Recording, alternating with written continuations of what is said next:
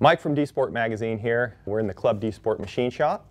Today I wanted to go over a relatively new piston coating uh, coming to the market right now called Electroless Nickel. This is a plating process uh, that's done to the generally the, to the crown and the top ringland area of the piston. And what it establishes basically is a very, very, very hard corrosion resistant surface that'll give you some advantages over a non-coated piston. The two pistons I have here are non-coated. These are out of the Mackin 2JZ GTE Pikes Peak FRS. One of these here, you can see a nice crack in it. You can see evidence that this piston got extremely hot.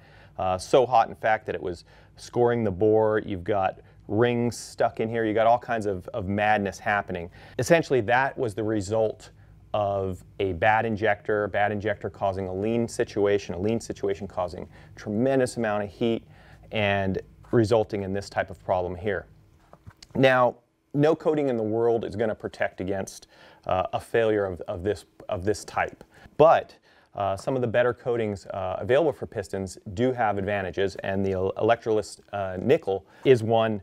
Unlike other plating processes that use electrical current, quote unquote electroplating, this is electroless plating. It's a chemical process rather than electrical. You don't have to worry about the current carrying better in one part of the part than another portion of the part.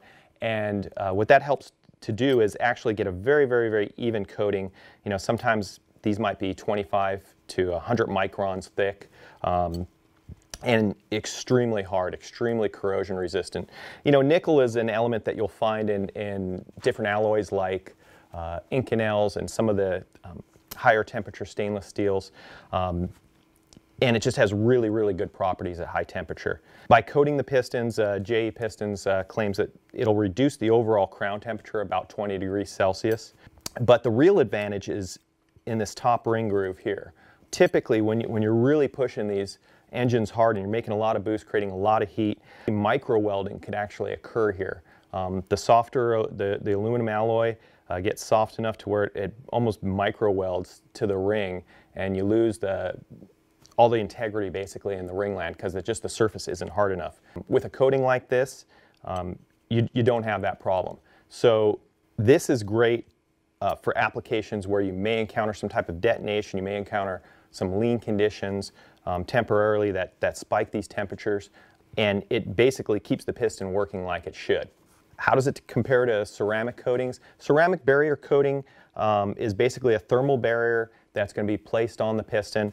Its, its main purpose is just to prevent transfer of heat through the crown back into the rest of the piston. And it doesn't go into the ring groove. So it, it's doing nothing to help the, the micro welding uh, challenge that you could have in, in, in a real, uh, extremely abusive um, environment.